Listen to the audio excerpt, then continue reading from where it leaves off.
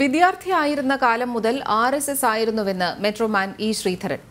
തന്നിലുള്ള എല്ലാ മൂല്യങ്ങളുടെയും അടിത്തറ ആർ എസ് എസിൽ നിന്ന് ലഭിച്ചതാണെന്നും ബി ജെ പി സ്ഥാനാർത്ഥിത്വം സ്വീകരിക്കുമെന്നും അദ്ദേഹം പറഞ്ഞു.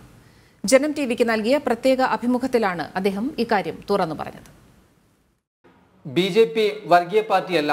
ബി ജെ പിയിലേക്ക് വരാൻ കാരണം വർഗീയ പാർട്ടി എന്ന പ്രതിച്ഛായ മാറ്റാൻ കൂടിയാണെന്നും ഇ ശ്രീധരൻ പറഞ്ഞു.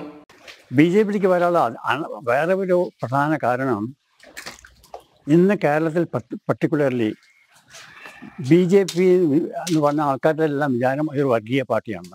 ഹിന്ദുക്കാർക്കുള്ള ഒരു പാർട്ടിയാണ്. അതല്ല ശരിക്കുള്ളത്. എനിക്ക് ഞാൻ ബി ജെ പിക്ക് അറിയുന്ന ആളാണല്ലോ. ആർ എസ് എസ് വഴിയുള്ള ആളാണല്ലോ. ഇത് വർഗീയതല്ല ഞങ്ങളുടെ അജണ്ട അറ്റോൾ ബി ജെ പിയുടെ. ആ മുഖച്ഛായ ഒന്ന് മാറ്റി കൊടുക്കണം.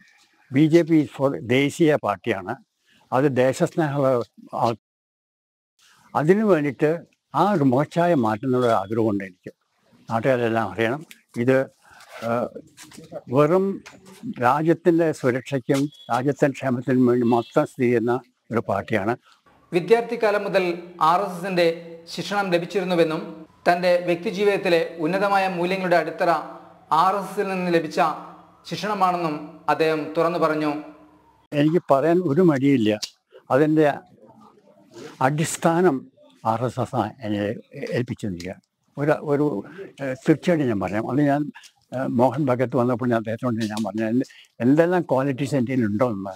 അതെല്ലാം ആദ്യം അതിന്റെ അടിത്തറ ആർ എസ് എസ് ഉണ്ടാക്കിയിരിക്കുന്നത് ബി ജെ പി സ്ഥാനാർത്ഥിത്വം സ്വീകരിക്കുമെന്ന് പറഞ്ഞ അദ്ദേഹം സത്യവും ധർമ്മവും ജനക്ഷേമവും മുൻനിർത്തി പ്രവർത്തിക്കുമെന്നും വ്യക്തമാക്കി.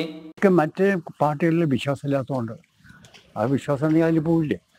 ആ വിശ്വാസം ഇല്ലാത്തതുകൊണ്ടാണ് ബി ജെ പിക്ക് വരുന്നത്. മോർ ബി ജെ പിയിൽ ചേർന്നാൽ കുറച്ചുകൂടി നല്ലതായി ചെയ്യാൻ പലരും സാധിക്കുന്നുള്ള ഒരു വിശ്വാസം കൊണ്ടാണ് വരുന്നത്. അതൊന്ന്. പിന്നെ പ്രത്യേകിച്ച് ഇന്നത്തെ സ്ഥിതി നോക്കുകയാണെങ്കിൽ ഈ കേരളത്തിലെ പാർട്ടികളും ഗവൺമെന്റ് ഓഫ് ഇന്ത്യയായിട്ട് എപ്പം നോക്കിയാലും അടിപിടിയാണ് കേരള കേന്ദ്രം എന്ത് ചെയ്താലും അതിനെ എതിർക്കുന്ന അങ്ങനെ കേരളത്തിന് വല്ല അനു- അനുഭവം വല്ല സൗകര്യങ്ങളും കിട്ടും പ്രധാന സന്ദേശം എന്ത് ഏത് രംഗത്തിന് ചെയ്താലും ശരി സത്യം നമുക്ക് വളരെ ഉണ്ടായിരിക്കണം. പിന്നെ എല്ലാം ധാർമ്മിക് വാല്യൂസ് ഉണ്ടായിരിക്കണം.